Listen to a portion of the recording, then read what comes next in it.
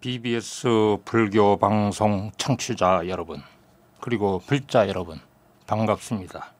저는 부산 연제구 연산구동 정수사 주지이며 의료법인 정수사 의료재단 관자재 재활 전문 요양병원 설립 이사장이며 사회복지법인 정수사 복지재단 설립 이사장인 원광 스님입니다.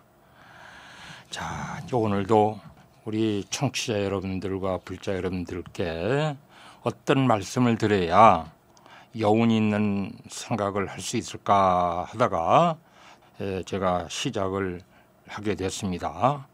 자, 귀를 쫑긋 세우고 한번 들어보세요. 사람은 누구에게나 꿈이 있습니다. 그렇다고 모든 이들이 꿈을 이루는 것은 아닙니다. 꿈을 이루는 사람은 그 꿈을 이루기 위해서 마음속에 늘 간절함을 품고 삽니다. 하루에도 수십 번씩 그 꿈을 되새기고 그 꿈을 위해서 끊임없이 노력하는 것입니다. 꿈은 간절한 바람에서 시작됩니다. 때로는 목숨을 걸을 정도로 간절해야 합니다. 그 정도로 간절함이 없이 이 세상에서 이룰 수 있는 것은 아무것도 없습니다. 실패와 절망은 간절함이 부족하기에 찾아옵니다. 꿈은 간절한 바람에서 이루어집니다. 어때요? 이 말 공감하십니까? 에, 저는 출가한 스님으로서 저도 꿈을 가지고 원을 세우고 열심히 기도를 했어요. 에, 제가 수행하는 스님으로서 어떤 방법으로 해야 우리 불자들에게 출가한 스님으로서의 사표가 될 수 있을까?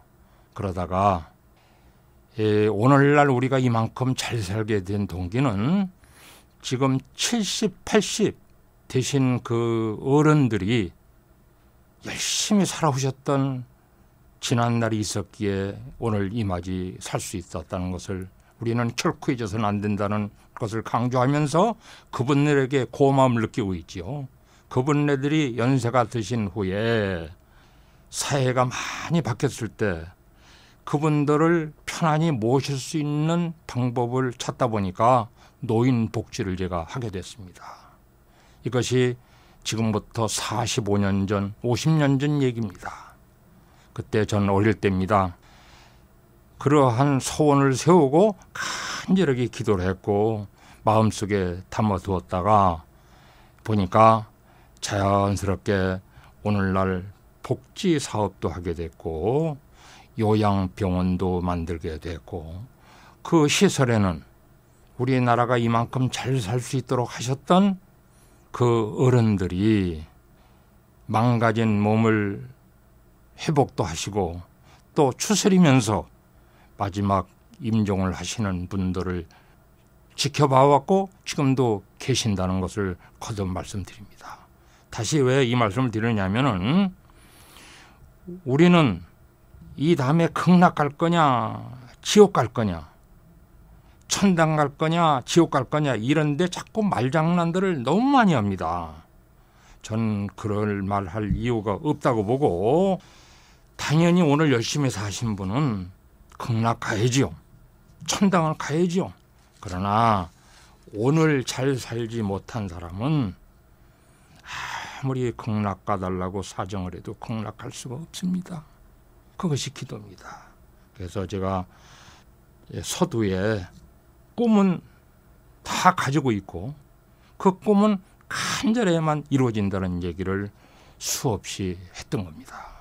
불자 여러분 그리고 BBS 불교 방송 청취자 여러분 저는 지난날 어, 제가 나이가 먹어서 이제 후배 스님들이 스님 어떻게 살아오셨습니까 했을 때 뭔가 전해 줄 수 있는 자부심을 가질 수 있는 일을 하나 꼭 해야 되겠다. 그런 뜻으로 노인복지 사업의 원을 세워서 여기까지 왔습니다. 이 말씀을 드리는 지금 저를 자랑하자고 하는 게 아니라 누구나 할 수가 있습니다. 이 방송을 듣고 계신 서부 경남, 부산, 김해, 창원 이쪽에 계신 스님들도 할 수가 있습니다. 그리고 또 스님이 아니라도 할 수가 있습니다. 근데 하다 보면은 여러 가지 번거로운 일도 일어날 수가 있고 번거로운 일이 안 생길 수가 없습니다.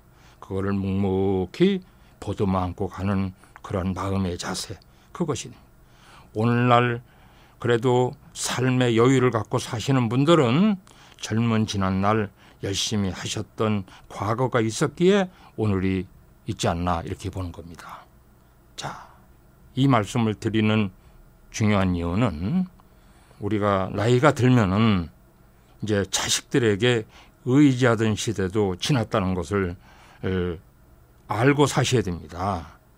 이제 연세가 드시고 몸이 말 안 들면은 그 사회복지법인 요양시설 또 병원에서 생활하시면서 거기에 또 동병상련이라고 그랬죠. 비슷한 분들과 살아온 인생의 여백을 메꿔 가시면서 이렇게 사시는 것도 아름답다고 보거든요. 그런데 제가 이제 그 복지 시설을 운영하고 있습니다만은 일부에서는 요양원의 부모를 모시거나 요양병원의 부모를 모시면은 옛날 고구려 때에 그 고려장이라는 비유를 하는 분들이 가끔 있어요. 근데 절대 그렇지 않습니다. 집에서 모시는 것보다 요양원, 요양병원에 모시는 것이 좋습니다. 집에서 모시는 것보다 분명히 낫습니다. 그런데 그 요양원하고 요양병원에서 변칙을 가지고서 시설을 운영하는 사람네들이 인건비를 줄일 욕심으로 하다 보니까 반칙 같은 일들이 벌어지는 겁니다. 그러니까 그 제대로 돼 있는 시설에다 잘 모시면은요 노인들이 편안하게 사실 수가 있다는 말씀을 다시 한번 드려봅니다. 제가 그 살아가시면서 궁금한 내용이 있으면 부산 불교 방송 그 홈페이지에다가 잠깐 그 궁금증을 해주시면은 제가 그 답을 준다는 말씀도 드린 적이 있어요. 어, 그러니까 그거 잊지 마시고요. 혹여 사시다가 아, 궁금한 내용이 있으면 한번 거기다 올려만 주시기 바랍니다. 그 내용 중에 어떤 분이 이런 질문을 해오신 게 있습니다. 에, 요즘에 코로나로 인해서 요양병원에 입원하고 계신 부모님을 잘 면회가 안 되니까 부모님을 쾌락하게 생각하시는 아드님이 요양병원에 계시는 부모님을 집으로 모셔오면 안 되는가 하고 가족에게 그러니까 아내에게 얘기를 했는데 아내가 펄쩍 뛰더라는 거지요. 요양원에 요양병원에 모시면 되지 왜 집으로 모시려고 하느냐 어, 그렇게 되면은 뭐 이혼하고 하라 이렇게 뭐 어, 말문을 막힐 정도로 했다는 그런 문의를 해오신 분도 계셨습니다.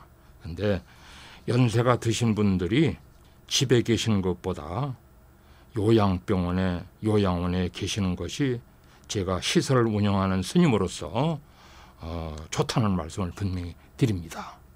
근데 혹자는 다시 말씀드리면은요, 이 고려장 같은 곳이다 그러는데요.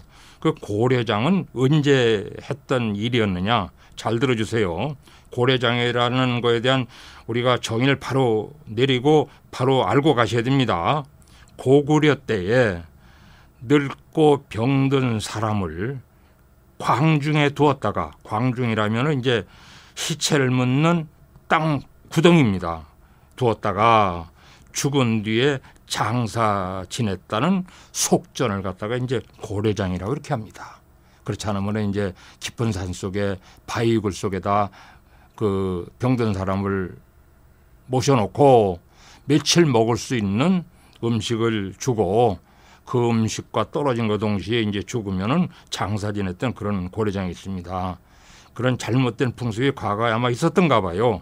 절대 그렇지 않다는 말씀을 드리고요. 지금 건강하신 50대 60대도 매한가지예요. 이 다음에 더 나이가 먹어서 병들고 몸이 안 좋으면요. 요양원, 요양병원에 가십시오. 그 요양원하고 요양병원에는요. 또 거기에 에, 그 의사, 간호사, 요양보호사 이런 분들이 그 시스템을 잘 갖추어 가지고요. 잘 모십니다. 그러니까 에, 집에 계시는 것보다 집에 있어봐야 어디 이제 외출해야 되죠.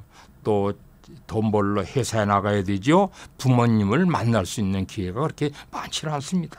그저 밥만 먹게 해드리고 뭐 TV만 보게 해드리고 이렇게만 해주면 효도인 줄 알지만 절대 그렇지 않습니다. 요양원에서요 프로그램을 합니다. 무슨 프로그램을 하느냐 노인들을 즐겁게 해주는 국악도 이렇게 들려드리고요. 또 색스폰 연주회로 오시는 분도 계시고요. 그다음에 요즘에 이제 그 뭐 지압, 그다음에 웃음을 선사하는 분들도 오시고요. 또 한 달에 몇 번씩 또 머리를 손질하러 오시는 분들도 계십니다. 그리고 목욕시키러 오시는 그런 봉사자들도 오십니다. 그러니까 집에서 계시는 것보다는 10번, 20번 좋다는 말씀을 드리고요. 이 시간을 빌어서 또 강조하고 싶은 얘기는 자식을 위해서는 미국으로 호주로 필리핀으로 캐나다로 어학연수 시켜서 있는 돈 없는 돈 쿡쿡 찔러가면서 많이 먹고 많이 배우라 하고 이렇게 해주는데 어머니 아버지가 병들어서 요양병원에 입원하려 치면은 싼데 싼데 싼데 이거를 원하는 사람들이 태반입니다. 이게 참 깝깝해요. 병원에서 받을 수 있는 가격이 정해졌습니다. 덜 받아도 안 됩니다. 지금 덜 받아도 이 요양원에서요. A라는 요양원에서는 예를 들어 100만 원을 받는데 B라는 병원에서 80만 원 받았다.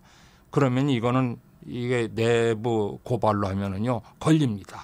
그러니까 그 요양병원은 비슷합니다. 근데 시설 시스템이 어떻게 되느냐에 따라 다를 뿐이에요. 어, 근데 싸게 부모님을 위해서는 돈을 안 들이려고 하는 그 못된 버릇 가진 아들, 딸들이 있어요. 그러니까 부모님을 위해서도 병원에서 원하는 비용을 제대로 지불하고 잘 모셔달라고 부탁하시면 됩니다. 그러니까 그렇게 아시고요. 에, 또 하나 이 연세 드신 분들 지금 70이 되시고 이제 80이 돼도 건강하신 분들 하루하루가 달라집니다. 언제 몸이 편찮을지 몰라요. 그러나 아직 건강하시다면요.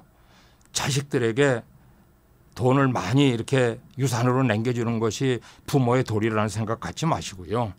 친구들하고 막걸리 한잔 하시고요. 파전 한 조각에 즐거운 시간도 보내주십시오. 또 저 시골에 계신 분들한테 제가 바란다면 비유를 이렇게 한번 해보고 싶네요. 아들에게 논 단마지기 유산으로 주려고 하지 말고요. 한 서너 마지기는 파셔가지고 당신이 쓰시고 두 마지기만 주십시오. 두 마지기 있으면 한 마지기만 주고 한 마지기는 파셔서 당신 쓰십시오. 그러시다가 건강할 때 이 친구 만나서 막걸리 한잔 하고 파전 한 조각 입에 넣고 살아온 지난 날을 해상하시면서 즐겁게 사십시오. 그것이 당신들에게 가장 좋은 겁니다. 그 단마지기, 그 없는 돈 있는 돈 자식에게 주는 것만이 부모의 도리라 생각하지 마시고요. 또 자식에게 한 푼 안 주고 다 쓰면 또 욕을 할 거 아니에요. 이제 한 반만 주고 반은 쓰시다 가십시오. 또 40대, 50대 계신 분들 당신들은 안 늙어요? 늙습니다. 그러니까 살아계신 아버지, 어머니 잘 모시세요. 그래야 복 받습니다. 그리고 저는 복지시설을 운영하는 스님이라고 분명히 말씀드렸어요. 인터넷 한번 쳐보십시오. 사회복지법인 치면 제가 하는 시설이 다 나옵니다. 그런데 그 복지시설에 그 쉬는 날 애들 데리고 오셔서 자원봉사도 하십시오.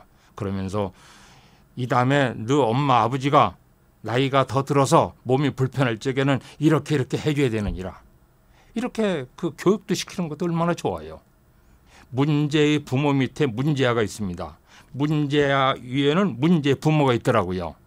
여러분들이 노후가 아름다울라 치면은 건강하고 살아있을 때 노인들에게 잘하시고 또 내 생활도 아름답게 마무리해야 됩니다. 그래서 저는 그렇게 비유를 하지요. 이, 이 방송은 종교 방송입니다. 그렇죠? 불교 방송입니다. 불교에서는 부처님 가르침을 전해주잖아요. 부처님 가르침 중에 이런 게 있습니다. 이걸 쉽게 설명한 겁니다. 신심 있는 분은 말도 예쁘고요. 마음도 예쁘고요. 행동도 예쁩니다.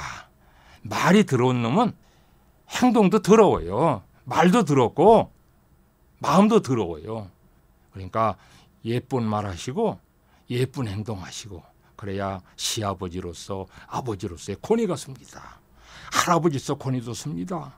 근데 그걸 망각을 하고 동물의 본능에 입각해서 허튼 소리 하고 그저 어, 아들 딸들에게도 험악한 말 쓰고 그러면요 이 다음에 병 들었을 때 존경 못 받습니다. 자, 제가 사회복지법인 하다 보니까 여러 가지 이제 있어서 뭐 동분서주했습니다만은 이 방송을 듣고 계신 우리 불자 여러분, 청취자 여러분, 꿈은 이루어집니다. 근데 그 꿈은 그냥 이루어지는 게 아니에요. 열심히 노력하고 또 해야 이루어진다는 것도 결코 잊어서는 안 됩니다. 그것이 정수사 주지이며 간자재 영병 이사장인 저의 바람입니다. 오늘도 시간이 다 됐네요. 여기까지만 하겠습니다. 감사합니다.